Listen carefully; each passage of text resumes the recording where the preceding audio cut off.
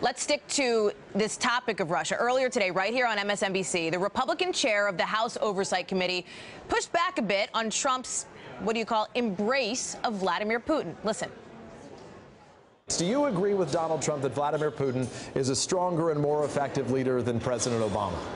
I think they're two totally different systems. Uh, you know, one's essentially a dictator. Uh, makes the equation very different than the way we operate with a Congress, a judicial branch. I, I, I would not categorize it like that. No. But th so it's a simple question. Do you agree or disagree with Donald Trump? I disagree with him on that. Boris Epshteyn is a Trump campaign senior advisor. Boris, thank you for joining us here today. Uh, you know, you heard Jason Chaffetz disagree with Donald Trump. It's what our friends over in the political unit at NBC called a loyalty test for some Republicans, their view on Putin. So I want to talk with you about that. But I want to start with showing you how two conservative think tanks see Russia. This comes from Heritage Foundation and the American Enterprise sure. Institute. Let's put up on screen. Russia's economy has shrunk 5% since 2013.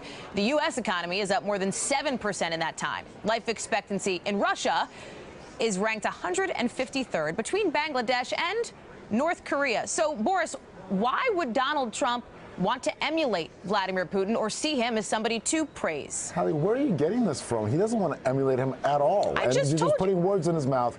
Here's what here's what the bottom he, line is. He said he's a better leader for Russia. Wait a second, Boris. No, no, He said he's a better leader for Russia than President Obama is for the United States. Are, when you look at some of those, we're not even talking about human rights issues, ISIS. some of those economic comparisons. He said he's a better leader in terms of fighting ISIS. He didn't touch economics. Here are the U.S. leaders who worked with Soviet Union and Russia. FDR, JFK, Nixon, Reagan, George H.W. Bush. Uh, Barack Obama is trying to work with Russia right now on Syria. Hillary Clinton attempted a reset with Russia and failed.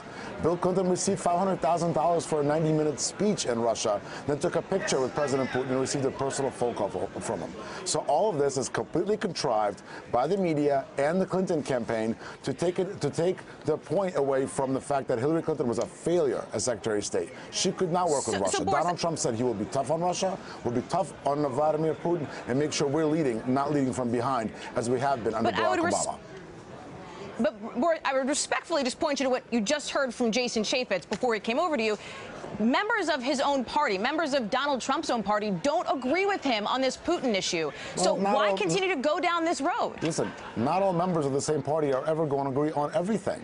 You know, Hillary Clinton disagreed with a lot of but her brass about going into Libya. She disagreed with them about designating Boko Haram as a terrorist organization, resulting in hundreds of women being kept hostage and used as suicide bombers. So those are, those are real disagreements you should be talking about, not trying to pin Republicans versus Republicans no, on really an issue that is made out of but thin air. I didn't. I'm not the one that made it out of thin air. Uh, but let's just focus here on Don, your candidate, and the issue with Russia, because I think well, there like have been some real questions. Candidates. There are two candidates in this race, right? So what's Hillary but Clinton's policy on Russia? What's Hillary Clinton's policy on North Korea? There was a nuclear test in North Korea yesterday, direct result of the Clinton failures of the 1994 yeah. Accords. I, get that you want to focus on Hillary Clinton, but let me I'd just like pose this question to you one more time because I want to I want a real answer here. Sure. With members of Donald Trump's own party uncomfortable with where he stands and his relationship with Vladimir Putin, with how he has no, talked again, about Vladimir Putin, how do you reconcile this? 90% of Republicans I just want to know how you reconcile it in the Republican Party. 90% of Republicans are backing Donald Trump as their candidate for president. The Republicans have absolutely come back home and are fully united behind Donald Trump. On the Russia issue specifically, Donald Trump will be tough on Russia, just like he'll be tough on everyone all over the world, whereas Barack Obama is being disrespected all over the world, just like he was in China recently, uh, Saudi Arabia before that, Cuba before that. We've been disrespected under the Clinton-Obama foreign policy. That will not happen under Donald Trump. And everyone knows that. That's why the left and the media are trying to distract from the real issue, that Donald Trump will lead. Hillary Clinton has already failed at leading. Let me switch over here, Boris. I'm going to leave that for a second to, to this issue of birtherism, right? A couple of other uh, Trump supporters, Trump surrogates, have said he's renounced it. I want you to listen, and then we'll discuss it on the other side. Sure. Why won't he yes, come he out believes... and just own that position that, yes, President Obama was born here. I was wrong to go with the birthers? So he believes President Obama was born here. In other words, he was born in the United States. Do you confirm that? Do you agree with I that? I confirm that, and Donald Trump now now confirms that. You know, Hillary Clinton. When did he do campaign, that? When did he Hillary, do that? He did that. Uh, when did he do years that? Ago. Two years ago.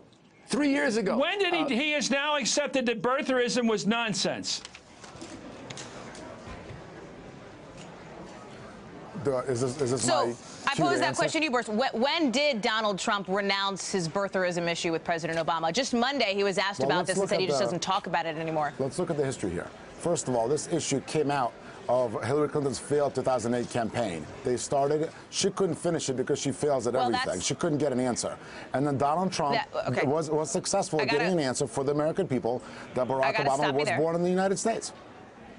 Right, but but so I got to stop you because there are some issues with that. Folk, I want to ask you though.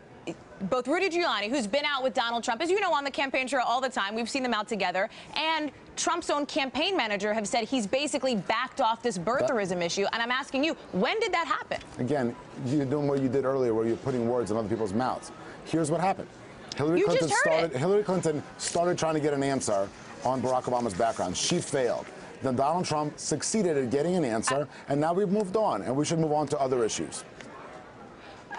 Let's You, you want to move listen, on. Hallie, you want to move on to other issues, and I policy issue you understand that. But this has Let's been something. about- wait a second. Let me, let me tell you why it's relevant, Let's Boris. about because- national security, the hang on economy, one second. Anything you want. Your candidate has been trying to reach out to members of the African American community And over these last couple so. of weeks, and our reporting, and it is very, it is known that there's a lot of folks who are uncomfortable with where Trump has been on the birther issue. That's why this is relevant now, Well, and that's why I think it's important we get a clear answer from your candidate. I just answered the question. 8% of African Americans are now backing Donald Trump, more than backed McCain in the election, more than backed Romney in the election. That number is growing. Because those African American communities see that Donald Trump is the leader for them. He is the leader that will reinvigorate the inner cities and will keep America safe. Boris Epshteyn, senior advisor to the Trump campaign. Always good to have you on. I appreciate Thanks you being much. on the uh, the road show today. All right. Hey there, I'm Chris Hayes from MSNBC. Thanks for watching MSNBC on YouTube. If you want to keep up to date with the videos we're putting out, you can click subscribe just below me or click over on this list to see lots of other great videos.